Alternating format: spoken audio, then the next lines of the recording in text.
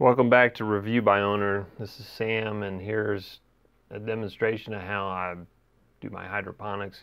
I've got a mason jar, one quart mason jar and a three inch net cup and I have a gallon of my hydroponic fluid. What I do is I fill it to about a half inch covers the bottom of the net cup and you'll see there there's the water and what that half inch does is when I fill it with the clay pebbles it will send the water up into my rock wool cube and hydrate the uh, cube until it could send roots down into the water.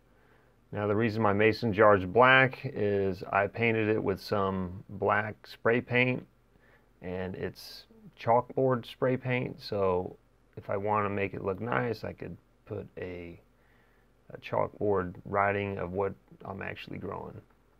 And right here this is a cube of spinach basically what I do is I, I put some clay pebbles at the bottom that will leach the water up to the cube and then I surround the cube with the clay pebbles and I try to get it in there to block out all the light so I don't get any light into the mason jar.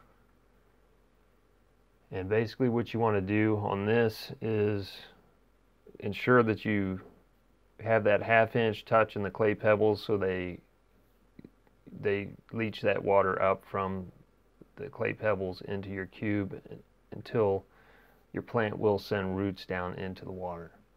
If you don't do that, it'll dry out and die. So you got to keep close attention on that. So there it is. It just sits in there. The three inch net cups. There's the uh, half inch and it's going to leach that water up until it could send down some roots. And that's all you have to do to uh, put it in the mason jar. And here's Here's my little system here. I've got some stuff growing. I've got several dwarf tomato plants, uh, bok choy, lettuce. I've got peppers, cilantro, basil, um, just a, whole mix of stuff. And, and those are how I'm growing it right now. And I just have some shop lights with four four foot lights in there, and it's just sitting on a, uh, a metal rack I got at Lowe's. I have some of the smaller mason jars and I'm going to phase those out. They're just too small, but I had them, so I figured I'd give them a shot. The quart mason jars are actually pretty small. I've got some stuff for when things get bigger, I'll transplant it into, but for now, it's working pretty good.